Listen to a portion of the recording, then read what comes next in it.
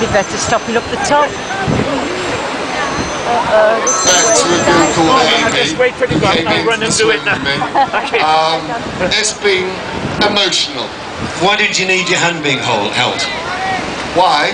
Uh, just just a cup of tea, something like that.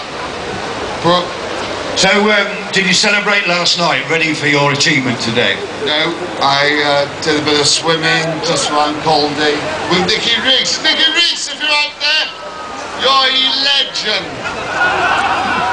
Christopher, may I wish you all the very best. Thank you for coming down. Olympic gold medals and eight World Championship gold medals. Uh, no sight on them at the moment, but uh, we'll keep our fingers crossed.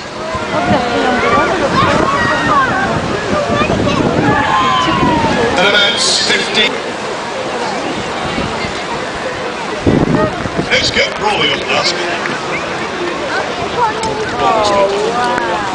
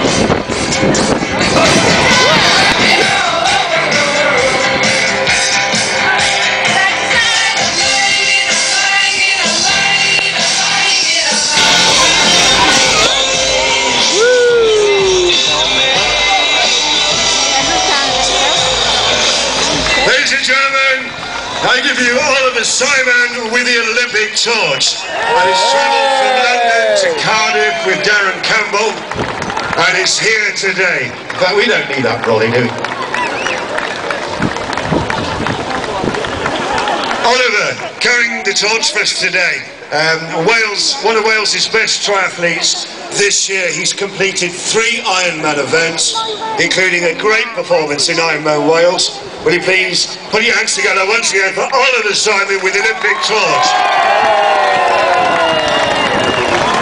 do adventure Lanzarote, places like that, and then do all the UK Ironman as well. So in warmer climates then, you won't have this rain to battle against. Well, today's swim is a challenge, but nothing compared to what you have to endure. How, how on earth do you train for something like Ironman? You have to kind of compress, progress all your training. You have to work up to being able to do the marathon distances. You can't do a two-hour run every day. You have to build up for a couple of weeks The on a week recovery.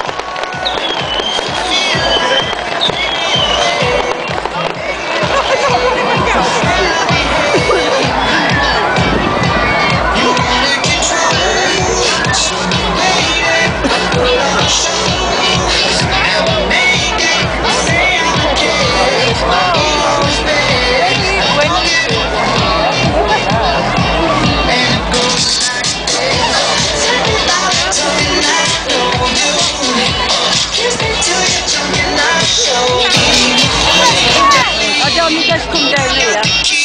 No. If they stop at the top.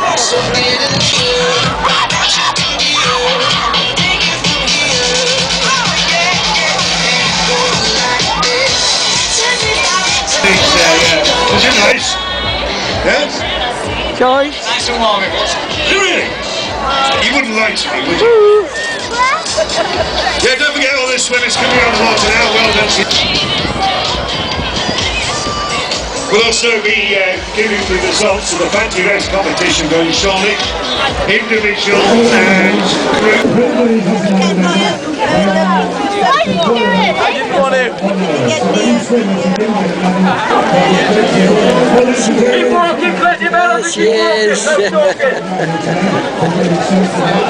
They've all gone round the other way because they couldn't get off the beach, I.